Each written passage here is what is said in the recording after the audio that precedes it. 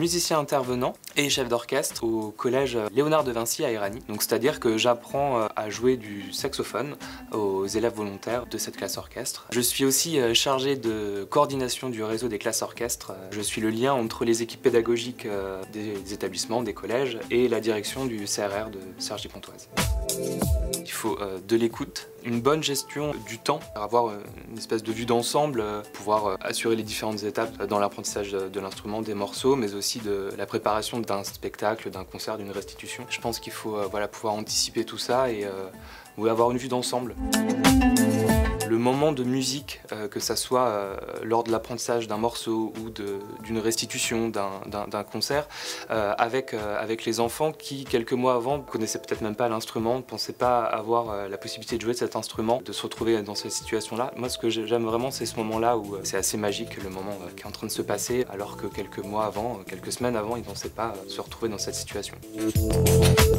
Le dispositif, c'est un programme sur trois années. Pour la plupart des collèges, c'est de la cinquième à la troisième, à Irani c'est sixième, quatrième.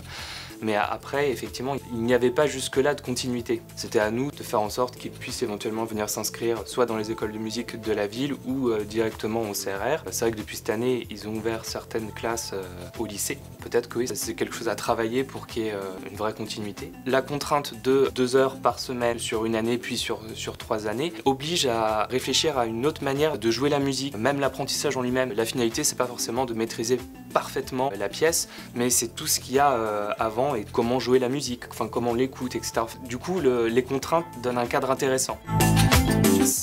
C'était en 2013 avec mon collègue Mathias Dessagne. On dirigeait les orchestres mais à l'école élémentaire avant d'aller au collège. On a eu la chance de passer une année avec euh, Fabrizio le saxophoniste et compositeur euh, du groupe Akamoun et Akamoun aussi, le trio, euh, pour monter un spectacle avec, on avait plus de 100 élèves à ce moment-là. Ça a été assez incroyable. Dirais que la pédagogie soit un vrai choix. C'est-à-dire que c'est vrai que dans nos métiers de, de musiciens, bah, on va pas réussir à intégrer l'orchestre qu'on souhaite, à devenir le musicien de studio qu'on aimerait être et que certains viennent à la pédagogie un peu parce qu'ils n'ont pas d'autre choix et il faut juste manger et donc on va donner des cours.